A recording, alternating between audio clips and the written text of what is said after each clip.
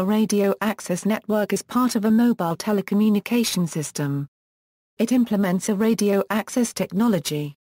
Conceptually, it resides between a device such as a mobile phone, a computer, or any remotely controlled machine and provides connection with its core network. Depending on the standard, mobile phones and other wireless connected devices are varyingly known as user equipment, terminal equipment, mobile station, etc. RAN functionality is typically provided by a silicon chip residing in both the core network as well as the user equipment. See the following diagram.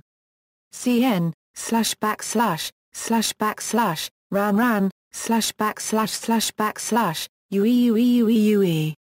Examples of radio access network types are, GRAN GSM Radio Access Network, GERAN, essentially the same as GRAN but specifying the inclusion of Edge Packet Radio Services, UTRAN, UMTS Radio Access Network, EUTRAN, the long-term evolution high-speed and low-latency radio access network, it is also possible for a single handset phone to be simultaneously connected to multiple radio access networks. Handsets capable of this are sometimes called dual-mode handsets. For instance it is common for handsets to support both GSM and UMTS radio access technologies. Such devices seamlessly transfer an ongoing call between different radio access networks without the user noticing any disruption in service.